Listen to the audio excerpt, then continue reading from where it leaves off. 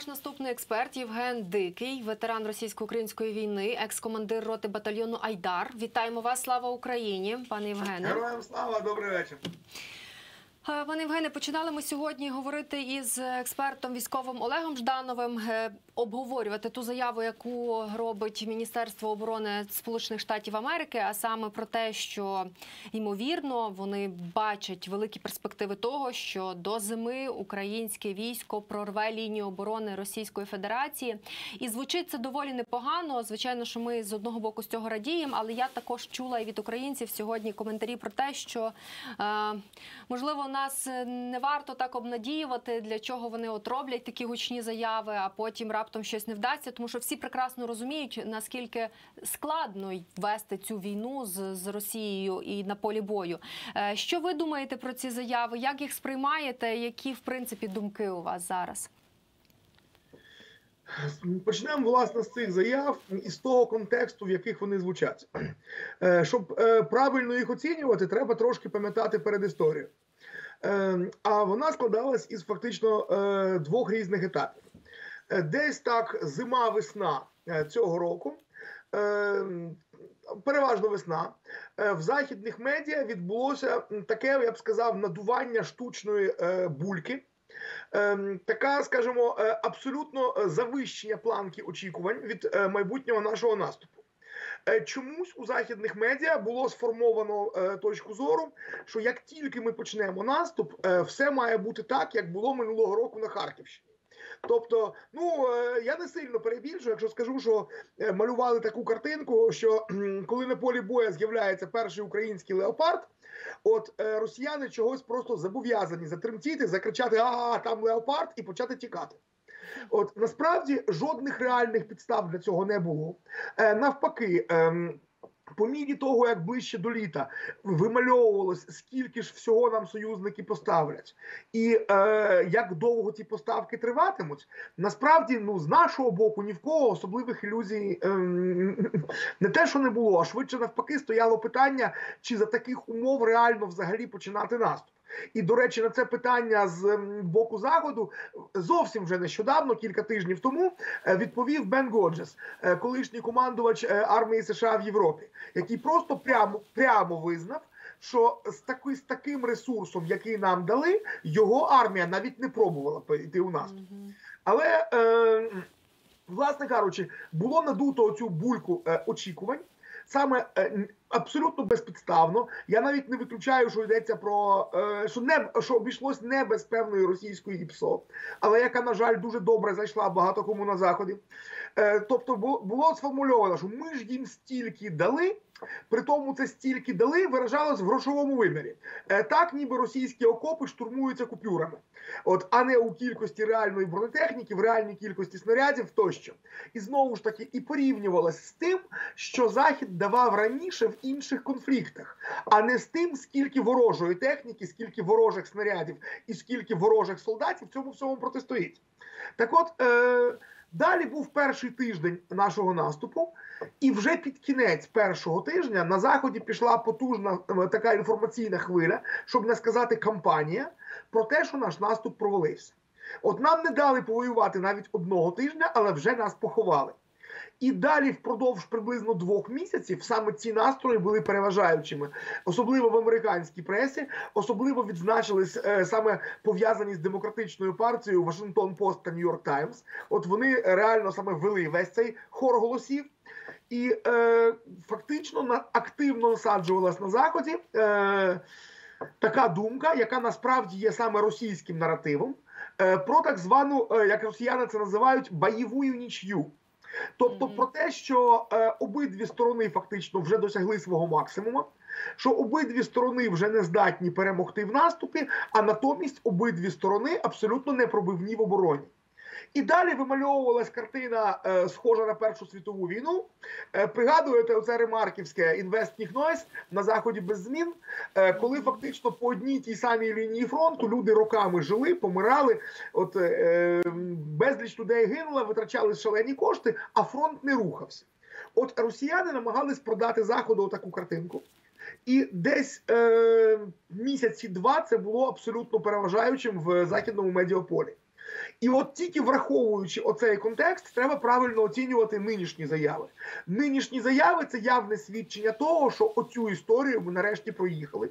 Що все ж таки, е, і в першу чергу дії наших захисників на півдні України, в другу чергу тверезі голоси, в першу чергу професійних військових на заході, е, нарешті перебили цей хор і показали реальну картину.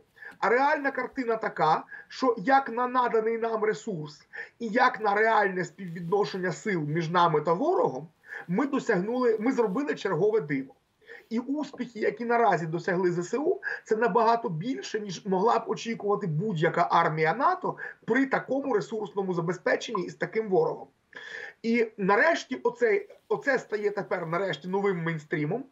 І таким чином, нарешті, я думаю, що вже майже я обережний з цим, але майже можна винести за дужки головну небезпеку, яка з цього витікала. Це небезпека того, що нам почнуть викручувати руки на заморозку конфлікту. Бо всередині десь літа в західних медіа вже абсолютно прямим текстом звучало словосполучення корейський варіант. От е, що для нас є насправді смертельно небезпечним, абсолютно неприйнятним варіантом. А воно вже абсолютно публічно фактично обговорювалось. Е, І оці свіжі заяви, зокрема, і візит Блінкена, зокрема, слід сприймати як те, що от нарешті цю історію ми проїхали, і нарешті вимальовується розуміння. По-перше, що е, наш наступ не такий е, феєричний, як чомусь очікували, виключно через те, наскільки мало нам всього дали. По-друге, вимальовується розуміння, що як на те, що нам дали, ми досягли величезних успіхів. Але головне приходить сприйняття, що нема ніякої бойової нічієї, нема ніякої патової ситуації. І відповідно, якщо нам досипати необхідних ресурсів, ми дійсно можемо закінчити цю війну в якісь розумні терміни, які можна там перед собою ставити.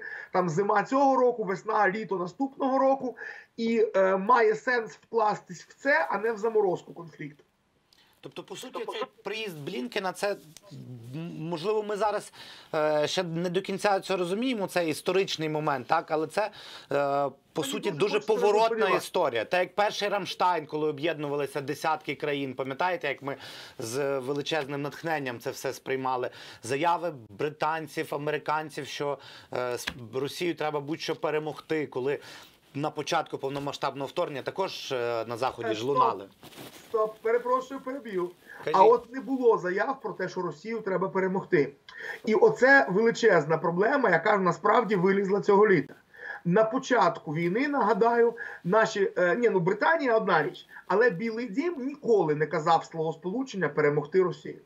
Вони весь час вживали словосполучення не дати Путіну перемогти. І просто перший рік війни ці речі фактично між собою не розрізнялись. В перший рік війни просто зупинити росіян це вже була надзадача. А от коли цю надзадачу ми виконали, і от тоді почали накопичуватися розбіжності, пов'язані саме з тим, що ми хочемо перемогти Росію, тобто розбити її вщент.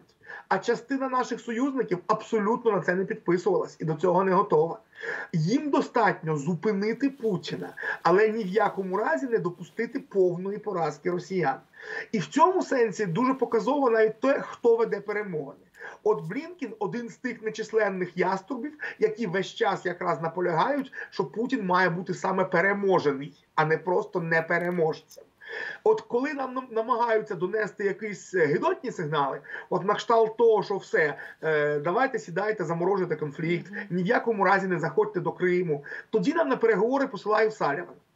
А от е, ну або Бьорнса, шефа ЦРУ, який насправді е, не- зрозуміло на яку країну взагалі більше працює. От е, колишній, Росії, е, колишній речі, так. улюблений посол США в Росії, е, єдиний про якого Путін відзивався як про того, з ким можна мати справу, Е, що, що вже дуже характерно. Да, так от тоді посилають їх. А от коли приїж- е, коли приїжджає Блінкен, оце вже інша історія. Оце вже швидше за все нам привезли хороші новини. Е, І це насправді дуже цікаво, бо з одного боку, коли я Жданова запитала, а що би могло бути, якби в нас було ще менше зброї, і ми б не могли проривати ці е, кордони окупантів. Він каже: ну вони би нас тоді схиляли до якихось перемовин, точно що все загинається. Сідайте, розмовляйте. А тут з іншого боку, ви кажете, що зараз, навіть коли ми прориваємося, вони теж будуть викручувати руки якоюсь мірою і казати, Ну, от що може вже не будуть. Ага. Е, раніше ну, вони, знаєте, питання, вони ж можуть що- це казати ради того, щоб ну якось якимось чином знову ж таки зберегти Росію. Так ну хватить вже там їх е, е, бити. Давайте вже там з ними якось щось вирішуйте. Кажіть, що ви що ви хочете, свої умови. Це ж так може бути насправді. Так, але такі аргументи значно слабші, аніж аргументи. Ну що, ви спроб... ми вам все дали. При тому я ж кажу, оце все. Це якщо порахувати, то обіцяно нам було приблизно на штат двох американських механізованих дивізій. Е, Це, це максимум того, що нам було обіцяно. Хотів би побачити, як двом американським дивізіям нарізають задачу прорвати фронт в 1600 кілометрів. От, але ж, але ж це ще й обіцяне. А те, що реально приїхало, це приблизно на одну американську механізовану бригаду. От так от, але звучало, звучало це так: ми вам все дали, ви спробували, ви не прорвали. То тепер сідайте, домовляйтесь. От е, тепер оцей аргумент з ви не прорвали, здається, здається, приходить розуміння, що значною мірою прорвали і може таки допрорвем до кінця. І тоді, звичайно, з абсолютно інших е, позицій треба говорити навіть про будь-які перемовини. Дуже часто цю таку обережну позицію колективного заходу, де трошки, е, скажімо так, е, більш активну е, позицію завжди займали британці, Сполучені Штати Америки, європейці е, більше переживали стосовно. Ну, всі ми розуміємо, вони всі переживають стосовно російської ядерної зброї, і про це часто можливо не напряму говорилося, але було зрозуміло, що ніхто там умовно Путіна в глухий кут е, заганяти не хоче, щоб він не використав цю ядерну зброю. Як ви гадаєте, зараз щось змінилося в їхньому е, розумінні потенційної небезпеки використання Росією стратегічної чи тактичної ядерної зброї? Е, Не берусь про це судити, якщо чесно. Е, Останнім часом оця ядерна тема ніби практично не звучала. І росіяни свій ядерний шантаж стишили. е, Ну і швидше за все стишили саме через те, що отримали ряд сигналів, що все ж таки Захід не вірить, що все ж таки Захід сприймається саме як блеф, і нарешті на цей блеф перестає вестись. Але я не був би впевненим до кінця, що питання зняти. Оці страхи вони настільки глибоко сидять в частині західних еліт. Я б, до речі, от. От що, що я б не вживав в цьому контексті, то це поняття колективний захід. Е, мені здається, що ця війна дуже добре нам всім показала, що поняття колективний захід існує лише в російській пропаганді. В реальному світі його нема. Захід абсолютно не колективний. Це е, дуже різні країни, в яких їхні політичні еліти займають інколи навіть в межах одної країни діаметрально протилежні позиції, е, хоча б трампісти е, і демократи в США.